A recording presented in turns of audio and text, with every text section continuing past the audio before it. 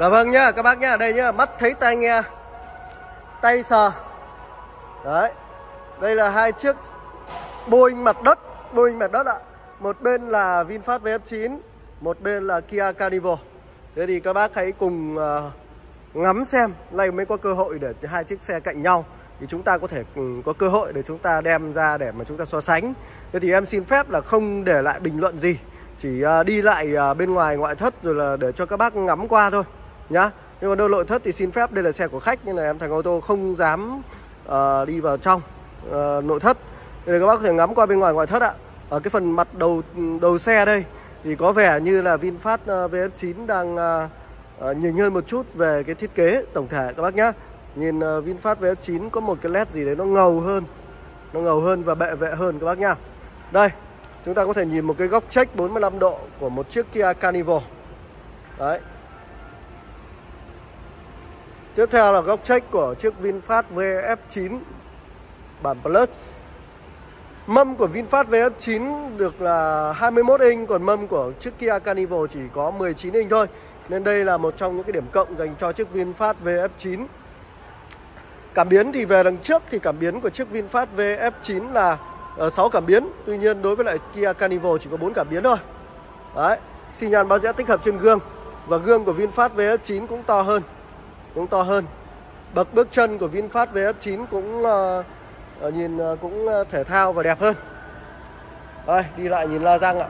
La răng thì thôi mỗi người một quan điểm khác nhau. Nhưng mà em cứ nhìn la răng to như thế này là em đã đời rồi đúng không ạ? Tay nắm cửa thì uh, VinFast VF9 được thiết kế tinh tế hơn.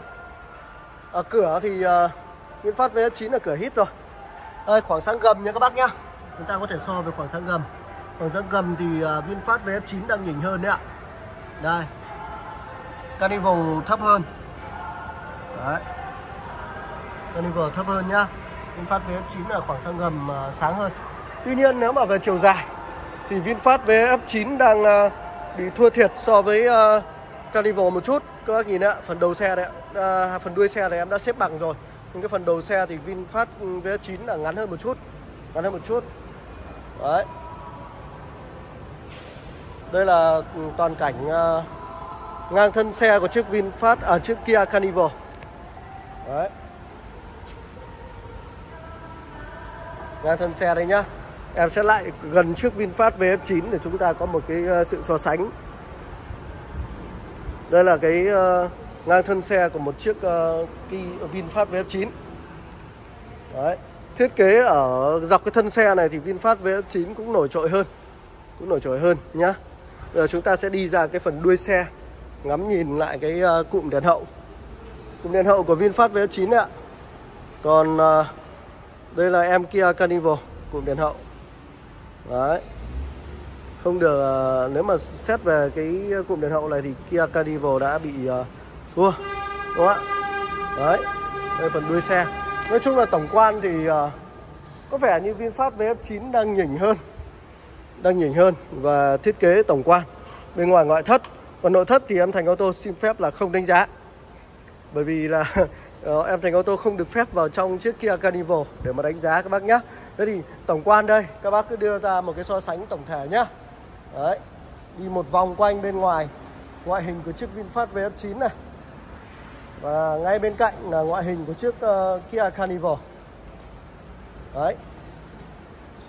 Kích thước tổng thể thì VinFast VF9 thì có vẻ là thấp hơn so với Carnival một chút đúng không ạ? Đấy.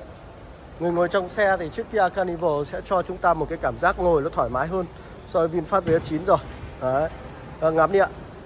Thế thì à, các bác nào có nhu cầu quan tâm đến các dòng xe của VinFast thì đừng quên là liên hệ ngay với em Thành auto theo cái số hotline là 0979 188 958 để được hỗ trợ tư vấn cũng như là báo giá chi tiết đầy đủ cho các bác thông qua Zalo.